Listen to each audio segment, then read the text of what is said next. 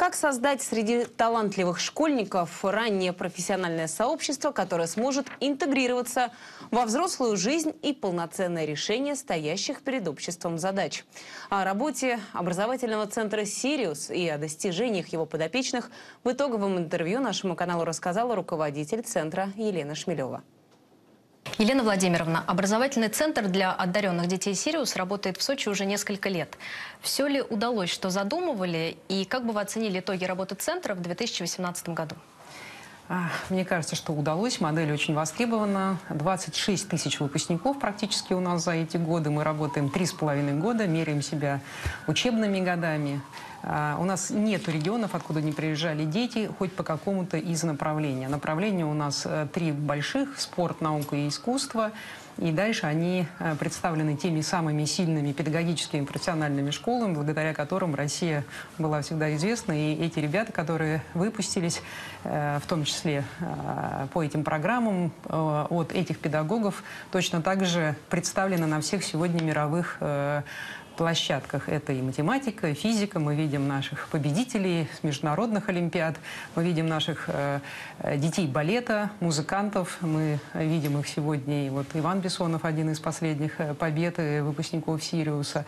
Э, у нас фактически раз в год формируется молодежная сборная России по хоккею. Э, фигуристы, шахматисты. Все они показывают, насколько эффективно можно готовить за короткий срок, который они проводят в «Сириусе», потому что что часть ребят может э, вернуться два и три раза, но все они получают возможность учиться у лучших педагогов России. Если говорить о 2018, сколько ребят прошло обучение в вашем центре и какие планы на 2019? До 9 тысяч человек учатся по нашим интенсивным профильным программам каждый год. 300 а, человек приезжает каждый месяц по науке, 200 по спорту и 200 по искусству. Я уже сказала, у нас при, примерно равные доли всех ребят на площадке. Программа проходит одновременно. И в этом отдельная особенность Сириуса, когда ребята разных направлений находятся в течение э, программы вместе. Э, это очень обогащает и профессионально, и в человеческом плане. Мы видим, что фактически сложилось уже такое товарищество выпускников Сириуса. Ребята действительно испытывают, с одной стороны, ностальгию, с другой стороны, а, у них действительно меняется круг общения, и они выбирают следующие шаги, и в том числе партнеров. А, всегда в наших программах есть и ведущие вузы, и ведущие компании, которые потом их поддерживают, и многие из ребят уже проходят стажировки и готовятся к тому, что получат предложение от партнеров Сириуса. А какие новые компании и партнеры появились у Сириуса в этом году и с какими предложениями они к вам приходят?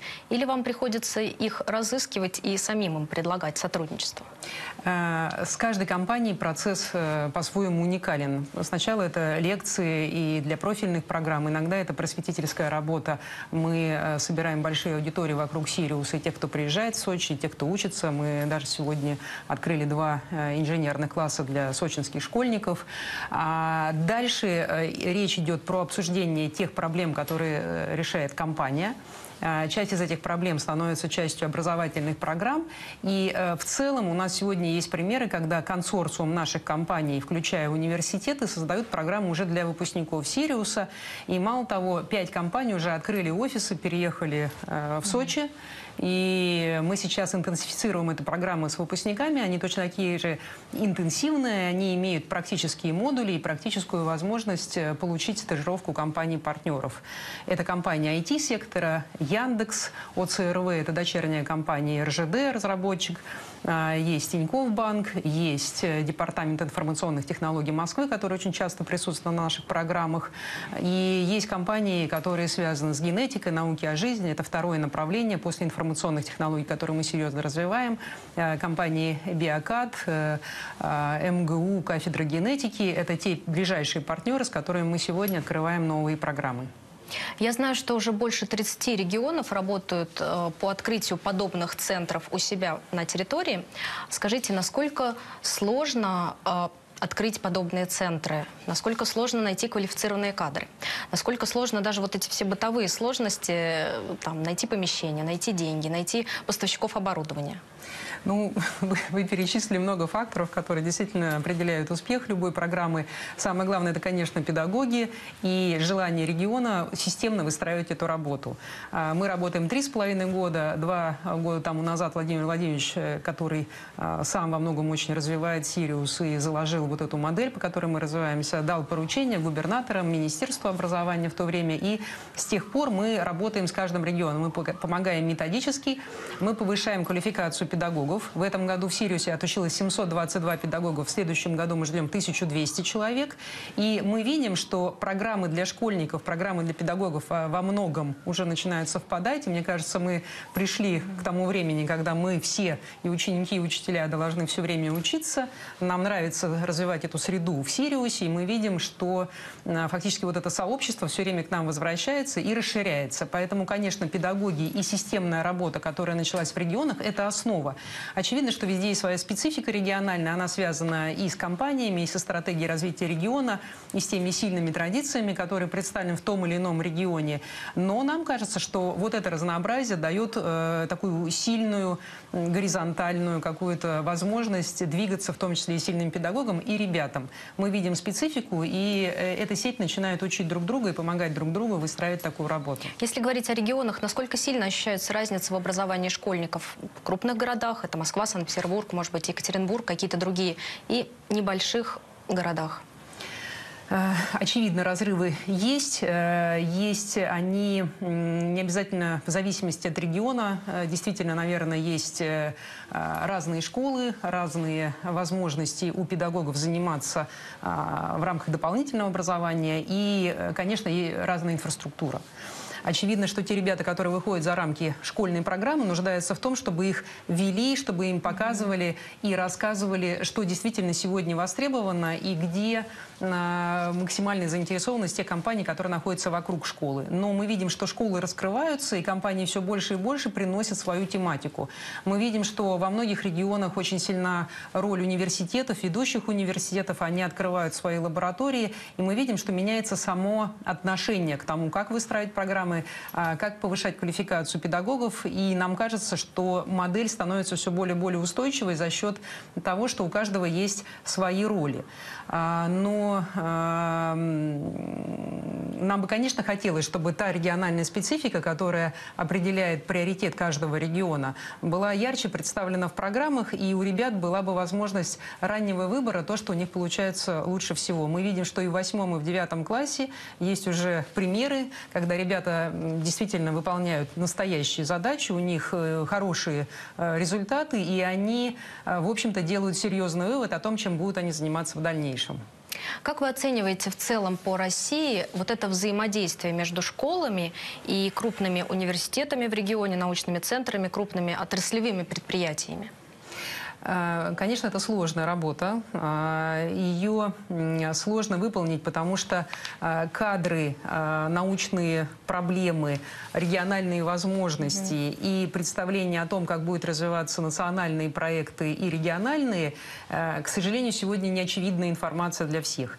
И нам кажется, что это тоже задача Сириуса собирать эту информацию и говорить о приоритетах, говорить о направлениях. Конечно, никто из нас четко не может предписать, какие шаги надо сделать, чтобы точно добиться успеха в выбранной сфере. Но мы можем показать а, тенденции, мы можем а, рассказать от первого лица, а, как развивается то или иное знание или технология. И самое главное, все вместе обсудить, как надо развивать технологии, чтобы она была применима к повышению качества жизни, к поиску каких-то, может быть, простых решений, но которые действительно меняют э, окружающую среду или какие-то условия нашей жизни. Это очень важно для ребят, потому что мы говорим о школьниках. И Сириус, и региональный Сириус – это во многом воспитательные проекты. И, очевидно, очень важно, чтобы к ребятам приходили те самые взрослые, которые серьезно относятся и к ним, и к программам, и которые сами ставят и решают те задачи, в которые вовлекают ребят. Только таким образом, наверное, мы э, создадим вот это раннее профессиональное сообщество, интегрированное в полноценное взрослое сообщество и в полноценное решение задач. И тут, конечно, очень важно создавать еще среду. Э, Фактически в Сириусе мы видим, что вокруг наших э, узкопрофильных программ, сильных педагогов, педагогов, сильных партнеров, по-другому стала развиваться среда. Мы строим концертный зал, у нас есть искусство, балет, у нас есть очень много партнеров, которые привозят выставки, и мы видим, что а, без такого взаимодействия невозможно говорить о творчестве, невозможно говорить о каком-то таком э, длинном планировании, а, наверное, взаимодействия с теми, кому сегодня по 14-15 лет. По поводу работы детей со взрослыми. Это же в какой-то мере система наставничества. Та самая система наставничества, которая была опробована совсем недавно в конкурсе «Лидеры России». Там, правда, уже соревновались взрослые люди, руководители, управленцы. По-вашему, насколько э, эффективна вот эта модель наставничества и хватает ли времени у наставника на своего подопечного? Потому что, как правило, это очень востребованные люди, востребованные бизнесмены, ученые, и у них время расписано по часам и даже по минутам. А, Но ну, мне кажется, вот на примере Сириус, когда создается такая живая среда живого знания и заинтересованных людей, время становится такой иногда не физической величиной, потому что когда в одном пространстве школьник может задать вопрос, не знаю, Нобелевскому лауреату, mm-hmm. и этот вопрос связан с его каким-то там а, действительно восприятием себя в профессии, и услышать ответ, адресованный только ему, это, наверное, во многом может определить его дальнейшие шаги. И Сириус, э, мне кажется, показывает именно это. То есть э, должна быть создана профессиональная среда, где интересно а, всем, где говорят о нерешенных задачах, где сама среда а, позволяет а, ну, как-то и получить вдохновение, и действительно обменяться уникальными знаниями. И э, все это доступно ребятам из всех регионов. То есть вот, вот эта динамика э, людей, динамика программ и динамика э, смыслов, которые привозят э, к нам и ведущие ученые, и педагоги, и тренеры, и артисты, наверное, определяет то, что сегодня очень высокие конкурсные программы. Ребята действительно показывают выдающиеся результаты. Они поступают на самые сложные направления подготовки ведущие российские вузы. Мы э, сегодня делаем с партнерами э, все, чтобы они оставались в Sirius Online, а это опять очень короткое плечо вокруг наставника, вокруг того, кто формирует команду под решение своей задачи. И это всегда еще э, среда информационная. Чем лучше мы наладим обмен информацией, тем больше мы увидим каких-то команд из выпускников Сириуса, из ребят, которые становятся видны на уровне региона, и из тех новых проектов, которые мы видим и в регионах, и на национальном уровне. А, все они соответствуют стратегии научно-технологического развития Российской Федерации. И вот эти научные и технологические задачи, они начинают пронизывать все и уходят в школу. Тогда у нас предметы превращаются в межпредметные проекты, а педагоги, фактически представляющие, естественно, научные и точные дисциплины, а, формируют вот эту среду наставника, наставников э, в одной школе. Вы открываете в Сириусе инновационный научно-технологический центр. Расскажите, что это такое, что там будут создавать? Ну, фактически это как раз продолжение а, линейки. Мы растем вместе с нашими детьми. Если Сириусу три с половиной года, то некоторым из наших э, выпускников, э, значит, они заканчивают второй, э, кто-то учится на третьем курсе. Мы, конечно, очень рады, что все наши компании и партнеры понимают, насколько сократился вот этот путь от школьника до молодого сотрудника. И мы видим, что очень многие компании готовы создавать не только короткие программы, программы, но длинные программы сопровождения, которые связаны с тем, что ребята могут еще, находясь на университетской скамье, приходить на стажировки.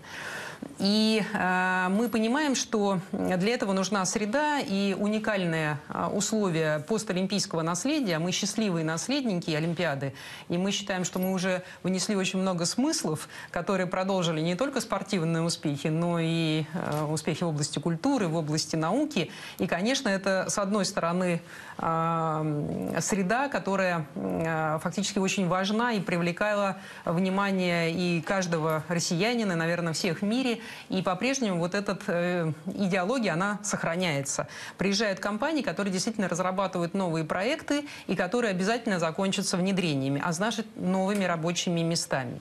А, я уже сказала, что два направления являются приоритетным для инновационного научно-технологического центра «Сириус», который расположится на территории вокруг э, Сириуса фактически, в Эмеретинском районе информационные технологии, искусственный интеллект, э, генетика науки о жизни и когнитивные исследования. Мы э, активно развиваем и продвигаем исследования, связанные с нашими различиями, в том, как мы усваиваем информацию, как мы учимся, э, как мы взаимодействуем друг с другом. И таким образом вот эти три основных научных и технологических направления составят базу инновационного научно-технологического центра. А задача, задача создавать новые технологии, повышать экспортный потенциал и включать наших ребят как можно раньше в эти проекты. Елена Владимировна, спасибо большое за это интервью. Спасибо, Ирина.